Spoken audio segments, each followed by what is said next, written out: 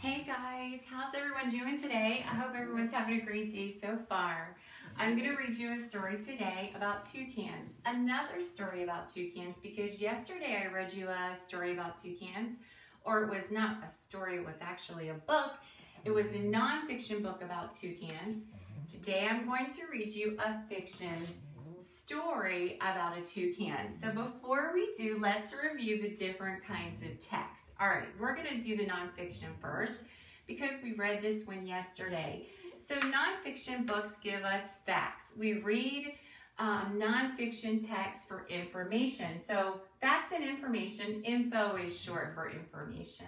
Um, nonfiction books have text features in them. So photographs, table of contents, glossary, maps. Those are all text features that we saw yesterday in this book about toucans. Um, you can read a nonfiction text in any order, so it doesn't have a beginning, a middle, and an end. You can read it in any order you want. So if you wanted to just read about what toucans eat, you can go to the table of contents, you can find that page, and you can just start reading there. You don't have to go in order. And we read nonfiction for learning, um, learning and enjoyment because we had a really good time reading this book and I love learning about toucans. So we read nonfiction for learning and enjoyment. So let's talk about fiction. Why do we read fiction books and what is a fiction book? Um, this is a fiction story that I'm going to read you today. It's called Toucan Can. All right, Loopy, we got to read to the kids. Come on. Be nice and be patient. Come on. So fiction books um, are not real. Um, the characters are not real. Their characters are going to be doing things that are um, that a real character wouldn't do, and you're going to see that in our story today. Um, so fiction books have a beginning, a middle, and an end. There's an order to a, um, a storybook that is fiction. It starts the beginning and then something happens in the middle and then it has an ending. So you have to read it in order to understand what's going on. Um, fiction books have characters. Fiction books have a setting. That's where the story is happening. And we read fiction for enjoyment. Okay, so today I'm going to read you this story called Toucan Can Can by Julia MacIver and Sarah Davis. Now I have to warn you, this book is full of rhymes and it's a lot of tongue twisters. So I'm to try my best to read this without getting my tongue all twisted up. Here we go. Toucan can.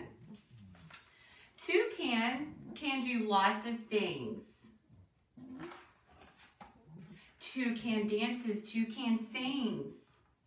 Okay, so can you already see the difference between the fiction and the nonfiction? Can a real toucan mm-hmm. dance and sing? No, I have never seen a real toucan dance or sing. Toucans bang a frying pan. Can you do what toucan can? Toucan can do lots of things. Toucan slides and toucan swings. Mm-hmm. Toucan hides behind a fan. Can you do what toucan can? See him do the can-can too. Can you do the can-can too? Look now, Toucan has a plan with the fry pan and a stew pan. He can juggle one hand, two hand, while he can-cans on a fruit can. What can do that? Very few can. Surely, though, most surely you can. Can you guys do all that? I don't, I can't. Can you, Luby? Can you do all of that? That's a lot. But can two can do what you can? You can stomp and romp and hop. You can go and you can stop. See two can stomp and romp and hop. And hop and trip and flip and flop. Poor two can. What you can, two can not. But who can do what kangaroo can? She can kung fu with toucan. Can Can you do what kangaroo can? Can you do kung fu with toucan? My goodness. You can do a new kung fu. If toucan can, can kangaroo. Toucan has a friend or two. One is Ewan and one is you. Ewan loves to dance all day. Toucan lets him lead the way. These are some crazy animals.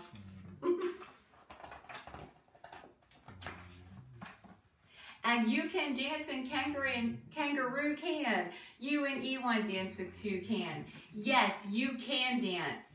But Ewan's ants cannot, cannot dance. His ants look really funny. I don't even know what kind of animal those are. Auntie Shanty can't at all, but Auntie Tanya's much too tall, but Auntie Anne and Candy can, and Auntie Candy's Panda can. With Auntie Amanda's salamander, Sandy's goose and Andy's gander, and Aunt Samantha's Panthers can. When they all dance with toucan, who can? Who can dance with toucan? Can you, LeBron? Can you dance with toucan? you can. So can you guys dance? I'm sure you can. But can a toucan dance? I've never seen a real one.